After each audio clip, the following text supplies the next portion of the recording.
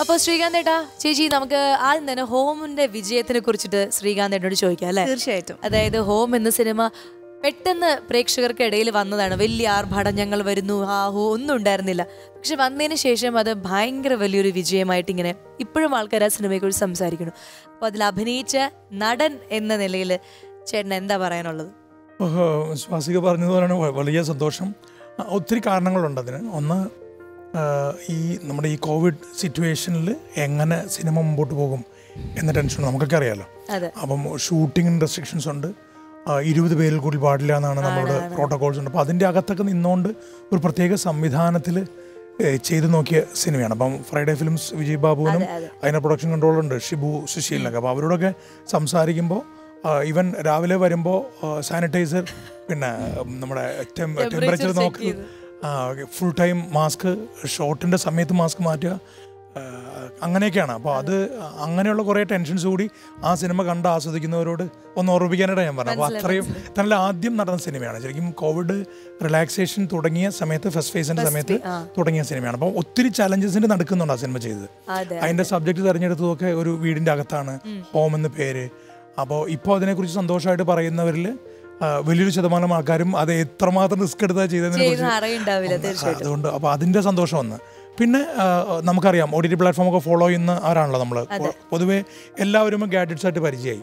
അപ്പോൾ അങ്ങനെയുള്ള സിനിമകൾ ഒരു ജനർ ഓഫ് സിനിമകളാണ് വന്നുകൊണ്ടിരുന്നത് അതിൽ നിന്ന് മാറിയത് ടോട്ടലി ഹോം കംപ്ലീറ്റ് ഒരു ഫാമിലി ആയിട്ട് പെട്ടെന്ന് കണക്ട് ചെയ്യാൻ പറ്റും. കുടുംബങ്ങളുടെയും അതിന്റെ ബന്ധങ്ങളുടെയും പിന്നെ റെലവന്റ് ആയിട്ടുള്ള ഇഷ്യൂസിന്റെയൊക്കെ ഡിസ്കഷൻ നടന്നപ്പോൾ അതിന്റെ ഒരു വിജയം കൂടിയായിട്ടാണ് കാണേണ്ടത്.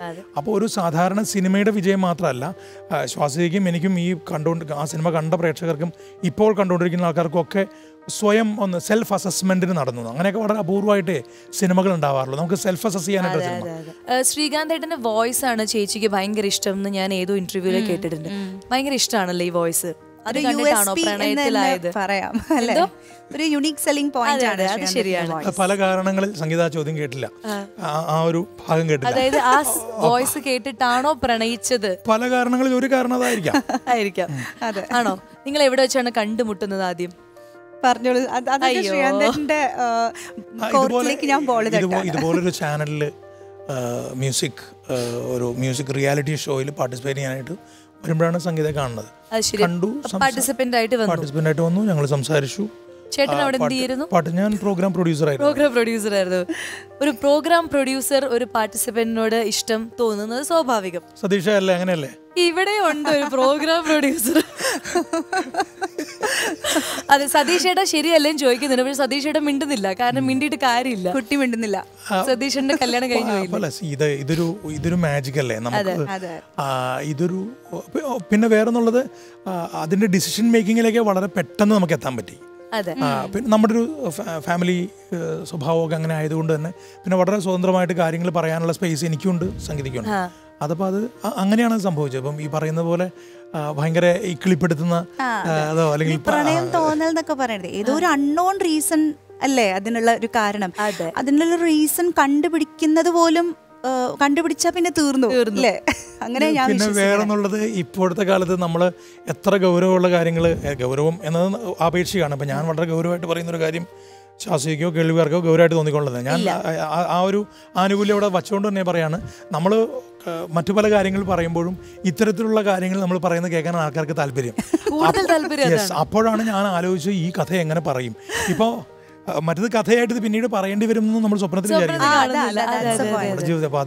ഒരു സുഹൃത്ത് ബന്ധമാണെങ്കിൽ എനിക്ക് പറയാം ശ്വാസികൻ എനിക്ക് എന്തുകൊണ്ട് ഇഷ്ടമായി എന്നുള്ള എനിക്ക് കൃത്യമായി ഡിഫൈൻ ചെയ്ത് പറയാം. പക്ഷെ പ്രണയം എന്തുകൊണ്ട് തോന്നിയെന്ന് ചോദിച്ചാൽ അത് നമുക്ക് പറയാൻ ബുദ്ധിമുട്ടുള്ള ഒരു കാര്യമാണ് തന്നെയല്ല ഇപ്പം വളരെ പേഴ്സണൽ ആണല്ലോ ഈ ഒരു ഫീൽ അപ്പോൾ നമുക്ക് നമുക്കതിനെ ജനറലൈസ് ചെയ്യാൻ പറ്റില്ല. എല്ലാവർക്കും മനസ്സിലാവുന്ന ഒന്നാണെന്ന് വരെ പറഞ്ഞാൽ പിന്നെ അടുത്ത പോയിന്റിലേക്ക് ഇല്ലാതെ അതെ. അതെ അപ്പോൾ അതുകൊണ്ട് തന്നെ അതങ്ങനെയൊക്കെ സംഭവിച്ചു. അങ്ങനെ സംഭവിച്ചു. അങ്ങനെ ഇപ്പൊ ഹാപ്പി ആയിട്ട് ഇരിക്കുന്നു ആയിട്ടിരിക്കുന്നു. മാധവന്റെ വിശേഷങ്ങൾ പറയും. മാധവൻ ഇപ്പൊ എന്ത് ചെയ്യുന്നു? ഏത് ക്ലാസ്സിലാണ് അവൻ എട്ടാം ക്ലാസ്സിലാണ് ഭവൻസിലാണ്. എറണാകുളത്താണ് പഠിക്കണേ. പിന്നെ അവന്റെ ഇൻട്രസ്റ്റുകൾ എന്താ വെച്ചാൽ ശ്രീധരൻ പറഞ്ഞോളൂ. ആ അല്ല നമ്മൾ സിനിമകൾ ഈ മത്ത നട്ടാ കുമ്പളം മുളയ്ക്കുമെന്ന് ചോദിക്കില്ല? അപ്പൊ അതാണ് അവസ്ഥ. അതെ ചിലപ്പോ പാട്ട് ഒരു പാട്ടുകാരനാവാൻ ചിലപ്പോ ബിഹൈൻഡ് ക്യാമറ ആയിരിക്കും ചിലപ്പോ നടനായിരിക്കും. എഡിറ്റ് ചെയ്യുന്നുണ്ട്. എല്ലാം. ചെയ്യുന്നുണ്ട്. ഹാപ്പി ആയിട്ട് അവരെങ്ങനെ പോകും വേറെ ലെവലാണ് അപ്പോൾ ചേച്ചിയുടെ ആദ്യത്തെ എന്താ സ്റ്റേജ് എക്സ്പീരിയൻസ് ആണോ? അതോ പ്ലേ ബാക്ക് എക്സ്പീരിയൻസ് ആണോ? എന്താണ് മനസ്സിൽ പെട്ടെന്ന്? നമ്മുടെ അടുത്ത് ഷെയർ ചെയ്യാൻ പറ്റുന്ന ഒരു ഓർമ്മ? റിയാലിറ്റി ഷോയിലെ എക്സ്പീരിയൻസ് ആണോ?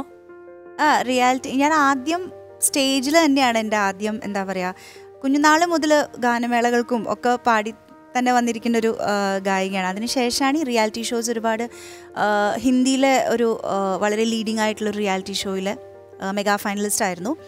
അപ്പോൾ അതെന്റെ മ്യൂസിക്കൽ കരിയറിനെ വല്ലാതെ സ്വാധീനിച്ചിട്ടുണ്ട്. ആ. ഒരു പിന്നെ അതിനുശേഷം ഒരുപാട് ഈ മ്യൂസിക്കൽ പ്രോഗ്രാംസ് ആങ്കർ ചെയ്തുകൊണ്ടാണ് ഞാൻ ഫീൽഡിലേക്ക് വരുന്നത്. ഓക്കെ. അപ്പോൾ അതൊക്കെ എന്നിലെ ഒരു സിംഗറിനെ ഇവോൾവ് ചെയ്യാൻ ഒരുപാട് സഹായിച്ചു. അതിനൊക്കെ ശേഷം മാരേജും ഒക്കെ കഴിഞ്ഞിട്ടാണ് ഞാൻ സിനിമയിൽ പാടുന്നത്.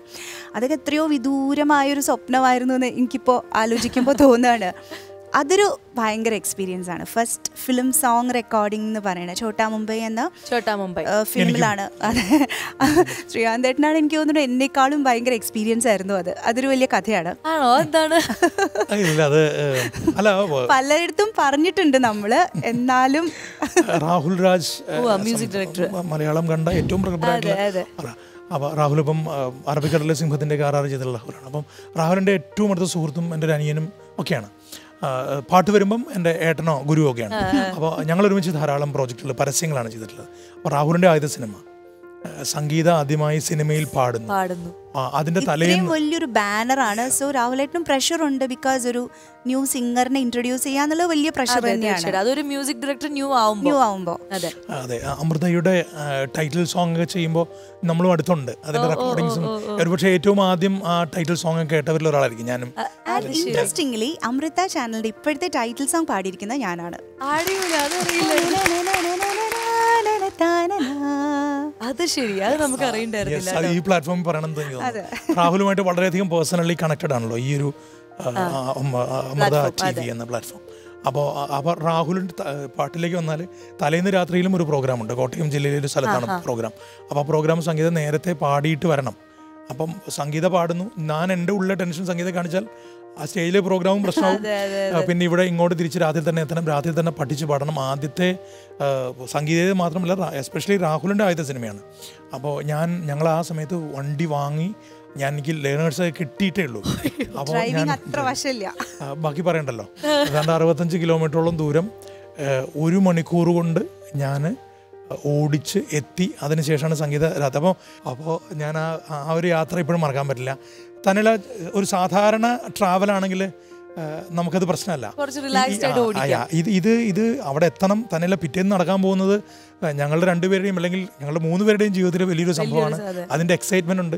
ഒരു പക്ഷേ ആ ഒരു എക്സൈറ്റ്മെന്റ് കൊണ്ടാവാം വലിയ കുഴപ്പമൊന്നും കൂടാതെ നമ്മൾ എറണാകുളത്തേക്ക് തരുന്നെത്തി നല്ല രസമുള്ള കഥയായിരുന്നു അത് എന്നിട്ട് പാട്ട് പാടി ഒറ്റ ടേക്കിൽ ആ സമയത്ത് ഒരുപാട് അര മണിക്കൂർ കൊണ്ട് തീർക്കണം തലേന്ന് രാത്രിയിൽ തലേന്ന് രാത്രി തന്നെ എന്നെ മൂന്ന് മണിക്കൂറോളം പഠിപ്പിച്ച് ആ മൂന്ന് മണിക്കൂറോളം പാടി പ്രാക്ടീസ് ചെയ്ത് അരമണിക്കൂർ കൊണ്ട് ടേക്സ് ഒന്നുമില്ല.